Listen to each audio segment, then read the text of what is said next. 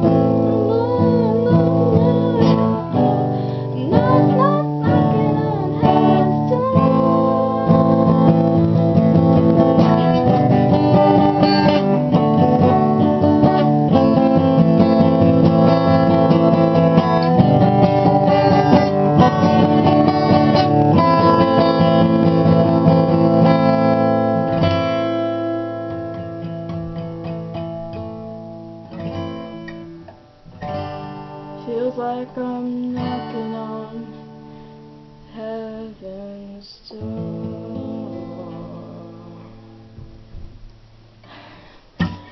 That was my impersonation of Axl Rose. I'm sorry if I offended you.